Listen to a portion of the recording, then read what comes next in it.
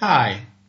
The center of the experience of the Gentile Roman religion has always been the private or domestic rite, and today, with the disappearance of the public rite, it is even more so. This does not mean that in addition to the domestic rite there is no possibility of experiencing the presence of the sacred, of the numen. However, uh, tradition has handed down to us a series of acts tested and refined through the experience carried out for thousands of years, which focus our attention and our energies to contact the divine in a sort of eternal grammar. So, let's see the basics. According to tradition, the spiritual sphere, understood as a paranormal world inhabited by spirits and gods, is not necessarily benevolent or malevolent. However, especially if neglected and unmanaged, it can cause harm. So for the Romans, a bad harvest could ruin a farmer's life. We therefore try to propitiate the divine sphere, first of all, to neutralize the negative influences of some chaotic and harmful spirits, and also to obtain the benevolence of the divine forces in order to guarantee success and prosperity not only in private life but also within the community. The correct relationship with the divine is defined pax deorum, peace with the gods, a state of order, rule, harmony, and discipline, which is opposed to a harmful state of anxiety due to disorder and unfocused conduct.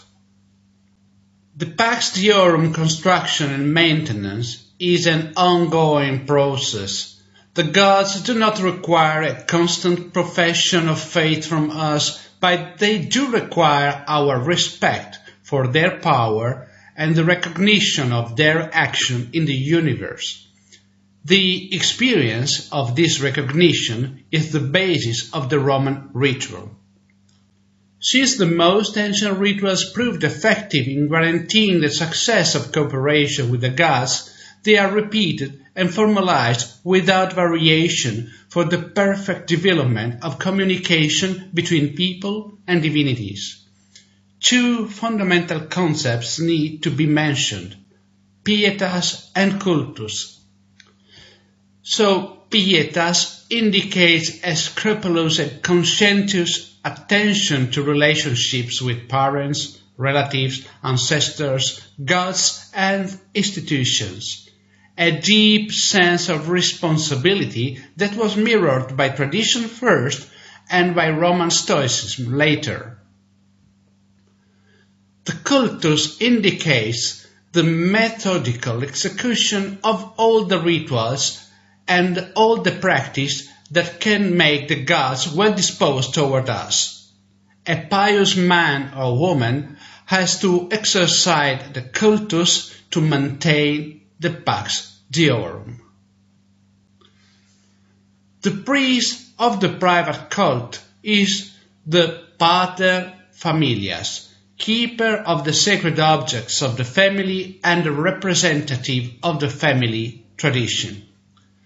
The sacred furnishings consisted of uh, antique family pieces, often in gold or silver, the jar for libation, the plate for bringing offerings to the hearth, the incense burner, the box for incense, the sprinkler, and other elements.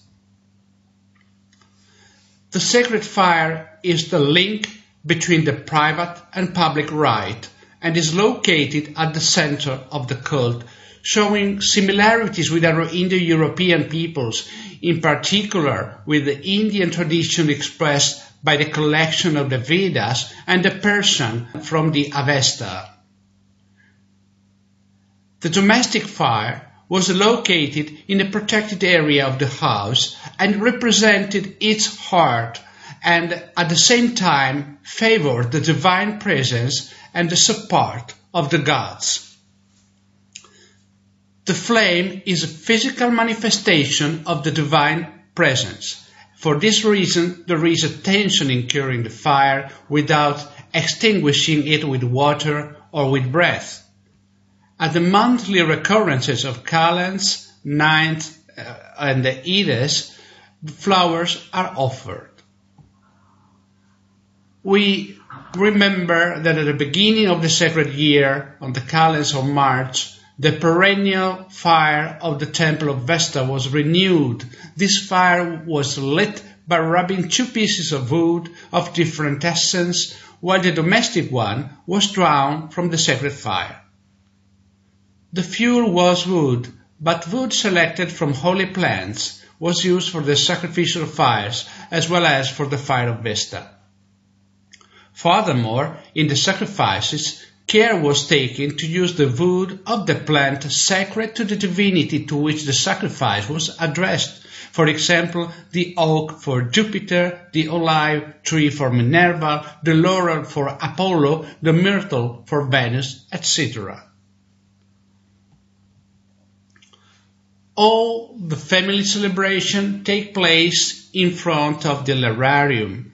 So the lararium is a sort of domestic temple in the shape of a niche in the wall or a cabinet where the activities of private worship are concentrated. The name derives from the lares familiares, spirits of the ancestors, generally depicted with two small statuettes or figures. It also represents the genius, the tutelar deity of the family, especially the head of the family, in the act of making a sacrifice, and one or two snakes, also symbolizing the tutelary deity of the family, perhaps originally a manifestation of the genius loci. The figures of the family gods, the penates, are also placed on the lararium. In other words, the lararium is a multifunctional fulcrum of domestic religiosity. Near the lararium there is a candle or an oil lamp symbolizing the hearth, a censer, a container for the incense, salt, a patera, the cup for offering oil, and the lararium should face north or east. So the ritual is divided into the following moments. First, preparation of the site and of the participants. Second, access. Third, the invocation to the genius foci. Four, purification of the ritual area and of the participants. Five, prayer and offering to Janus. Six, prayer and offering to the Genius Domi and Genius Loci. Seven, prayer and, off, and particularly offer of the anniversary. Eight, prayer and offering to Vesta. Nine, the piacular formula. Ten, the closure. On the preparation, we remind what was said in the previous lesson because it is a particularly important point. The law of the Twelve Tables establishes ad deos caste adeunto, that is to approach the gods in the condition of chastity. It is necessary to wash first, and in fact outside the temples there were tubes and fountains to clean hands and feet. Fasting is not prescribed before the rite, but it is definitely better to avoid participating weighted down by food that is immediately after eating. Ideally, with regard to clothing, a candid, unblemished, unaged robe not used in a funeral is prescribed. However, it is essential that the clothes are clean and tidy. It is also necessary to avoid wearing objects such as chains or symbols of any kind. In particular, it is necessary to avoid wearing leather and metals. We already talked about the fire offer a little while ago, so ritual purification serves to remove impurities from the area. What are impurities? Well, we can give many interpretations, modern and ancient. Uh, we can think of of it as a way to ward off negative thoughts, to feel secluded from everyday noise, to create a defensive barrier between the intimacy of the sacred moment and the buzz of modern life. Or we may give also theological explanations such as the removal of unwanted chaotic entities that could distract us from the correct execution of the rite and the perception of the divine. Frankincense and water with salt are used for purification. In the event that the ritual room has not been used for a long time or is used for other usage, we suggest sulfur for purification. Janus is the first god to be celebrated for his central position in the Roman conception. In the verses Januli in the Carmen Saliare, he is called in archaic Latin Duonus Cerus, that is the good creator and superior to the other gods, father of the gods, god of the gods. For this, Numa dedicated the first month of the year to him. Janus in his central position in the cosmic topology is the immobile polar axis around which everything moves, and also the door through which one can access. A door for special events in life as a rite of passage, but also the portal through which one enters the sacred sphere and finds access to the other gods. For this reason, the ritual opens with Janus. From the highest divinity, we pass to the tutelary deities directly linked to the place where the ritual is celebrated, the Genius Domi and or the Genius Loci. This is done first of all to ask for protection locally from those lower divinities who accompany us in the daily life, but also for another reason. Pay attention to the logic the uh, extreme points of communication are being defined. On the one hand, Janus, the nucleus of the divine, by whom one enters, so to speak, the pantheon. On the other, the place where we are, the here and now, and a secure connection is established between these two extremities, a kind of sacred channel. The ritual ends with Vesta thus returning to the fire to which we turn daily to nourish ourselves. Vesta brings us back to everyday life and prepares, so to speak, the closing of the ritual portal, giving stability to the walls of the house and continuity to the family action, consolidating the divine vibration as a protective aura in defense of the domestic walls.